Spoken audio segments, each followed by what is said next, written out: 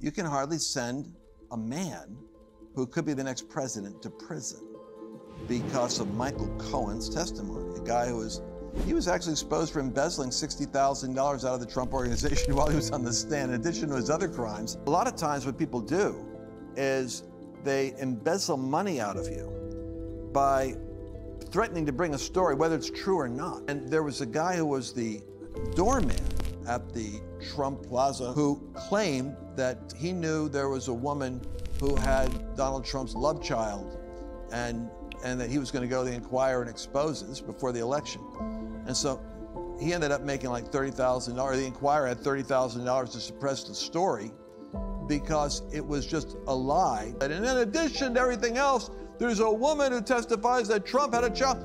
So the guy was embezzling money, trying to get money with a fake, and, and it, it, proved to be a fake story. The woman said, No, that isn't true. I don't know where he got that from.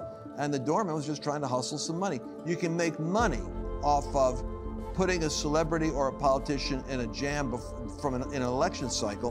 This stuff goes on.